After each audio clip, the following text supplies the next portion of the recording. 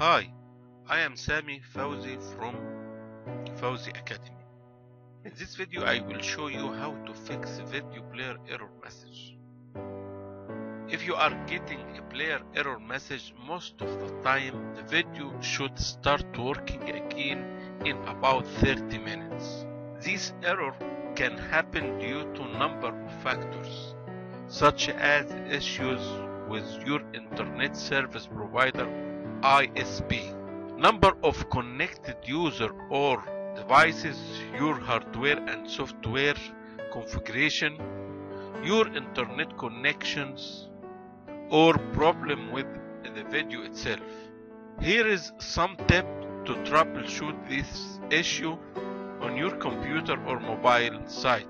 After each step, try viewing your video again. Try again after 30 minutes. In most cases, the video should start working again in, about 30 minutes. If that doesn't work, try the following tips. Reload the page.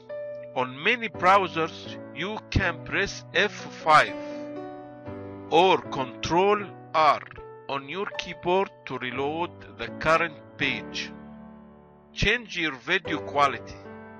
Click the gear icon in the corner of video player and select lower quality setting like 240 or 360 pixels.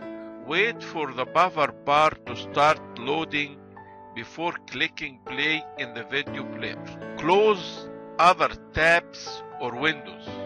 If you have multiple tabs in Windows open in your browser, try closing them. Upgrade your browsers.